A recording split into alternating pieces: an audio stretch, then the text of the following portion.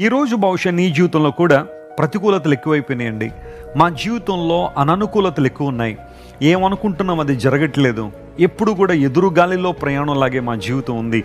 ఇంకెప్పుడు దేవుని ఆశీర్వాదం ఇంకెప్పుడు దేవుని దీవెన అని గనక మీరు బాధపడుతూ ఉంటే ఈ ఉదయ కాల్సిన దేవుడు మాట్లాడుతున్నాడు. ఇది మొదలుకొని. ఏ మ్యాన్ ప్రైజ్లో ఈ రోజు నుండి దేవుడు నిన్ను ఆశీర్వదించబోతున్నాడు. నమ్ము ప్రదేవుని బిడ్డ దేవుని వాగ్దానాలు గొప్పవి.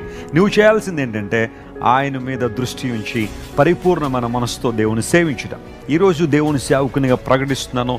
ఒకవేళ ఇంతకాలం మీ జీవితంలో అననుకూల పరిస్థితులు లేదా మీ అవిధేయతను బట్టి మీ తిరుగుబాటుతనాన్ని బట్టి ఎన్నో ప్రతికూల వాతావరణం మీరు ఎదుర్కొంటే లేదా మీ అవిధేయతను బట్టి మీ జీవితాల్లో ఉన్న అవిశ్వాసాన్ని బట్టి అపనమ్మికను బట్టి ఇంతవరకు దేవుని ఆశీర్వాదాలు మీరు చూడలేకపోతే ఈ రోజున దేవుని మీద సంపూర్ణంగా నమ్మిక ఉంచండి. విశ్వాసంతో ఆయన ఆరాధించండి.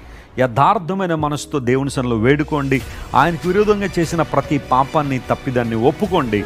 ప్రభు ఖచ్చితంగా మిమ్మల్ని ఆశీర్వదించి ఉన్నతమైన దేవుళ్ళు ఇస్తారు